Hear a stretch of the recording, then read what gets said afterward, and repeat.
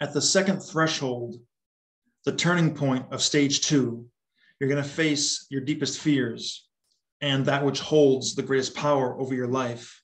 This is the moment the trauma bond breaks and the shame dies with it.